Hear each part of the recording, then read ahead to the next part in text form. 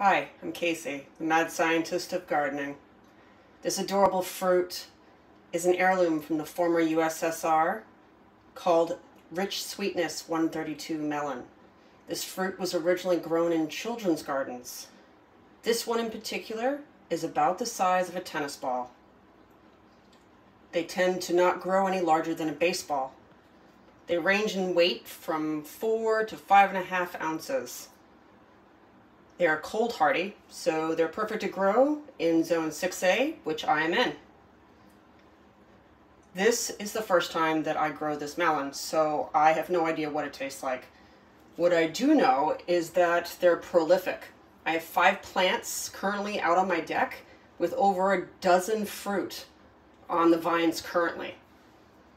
So stay tuned for the next video where I'll be cutting into it and tasting it, plus I'll be explaining my growing method.